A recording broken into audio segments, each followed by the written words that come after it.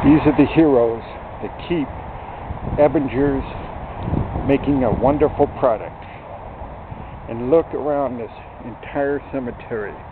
Not one visitor can come down and visit my four-legged friends that have passed. These are people like us that kept you in business for all these years.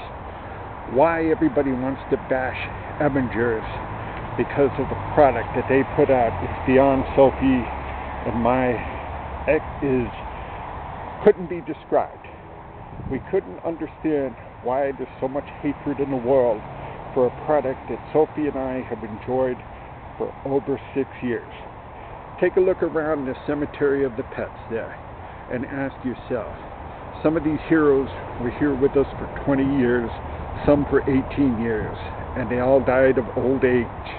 But yet, everyone wants to bash Evanger's and spend their day bashing a product that has been loved by many of these four-legged heroes for years to come.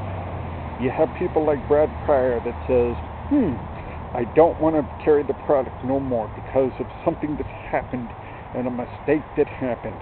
But you know, when you look among the heroes over here, if everybody took the time out and they paid and they came down here and they paid their respects to the heroes that have passed, we would be in a lot better world than having such fighting and hatred going on for a product that everybody loves.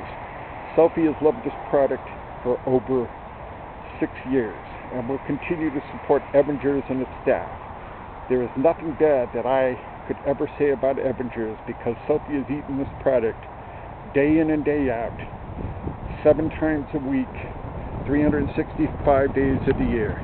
But yet, my little bees can bash Evanger's and write all this hatred. And when is the last time that the owner of My Little Bees, so that Twitter account, has come down here and has paid attention to the very people that have brought us love each year? And you know, Brad Pryor, this is something that you should see because you want to stop carrying a product. But when is the last time that you or anybody from your store took the time out to come down and walk through here and pay respects to the very people. But yet, when I talk to you by phone, you bash the product and you simply told me all of your hatred for the product. Evanger's is a high quality product, and I'll continue to love and support them as will Sophie.